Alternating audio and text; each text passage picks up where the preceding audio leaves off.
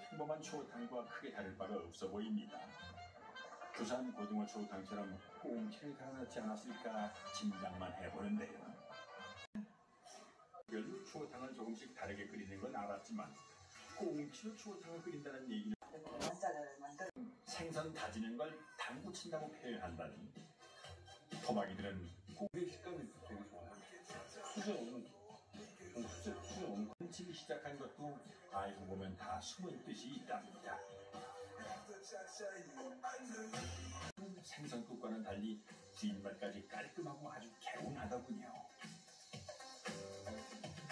깊은 향토 하고 현재 못다한 이야기들까지 넉넉히 들었네요. 그리고 맛있고 여운이 남고